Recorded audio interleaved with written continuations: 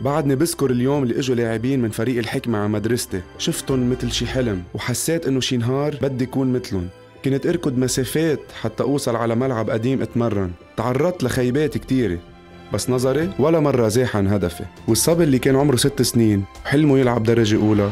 صار اليوم لاعب بمنتخب لبنان. لما يكون في إرادة ما في حلم مستحيل.